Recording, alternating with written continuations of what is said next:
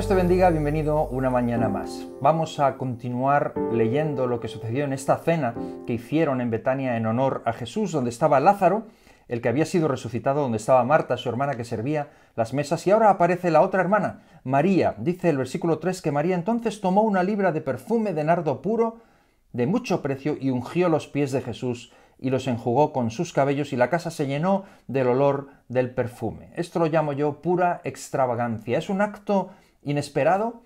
Es curioso porque hay otra historia en Lucas muy parecida, pero no es la misma, se confunde muchas veces porque también es una mujer que llega eh, en el contexto de una comida, eh, rompe un vaso de un perfume costoso, la casa se llena también del olor, es algo parecido, pero no es lo mismo, aquello es en Galilea, esto es en Betania, aquello es al comienzo del ministerio de Jesús y esto es prácticamente al final de su ministerio. Pero son historias parecidas y son historias que nos muestran un acto extravagante que nace igualmente en ambos casos del amor puro. En aquella otra ocasión, en Galilea, Jesús le dice al anfitrión como explicación, le dice, Aquel a quien se le ha perdonado poco, ama poco, pero al que se le ha perdonado mucho, ama mucho. Y es que el amor hace cosas extravagantes. El amor no se cuestiona si cuesta mucho, el amor simplemente derrocha.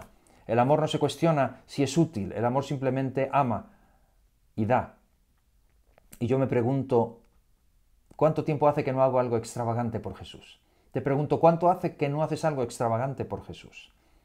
Yo envidio a María en este punto. Quisiera hacer cosas que no son aprendidas. A veces hacemos tanto, estamos, a veces hacemos mucho, tenemos muchas actividades y corremos el riesgo de caer en el activismo. Cosas estructuradas, programadas, pensadas para llevar a cabo algo y para continuar en algo que no debe parar. Pero ¿cuánto nace de un corazón auténticamente enamorado de Jesús?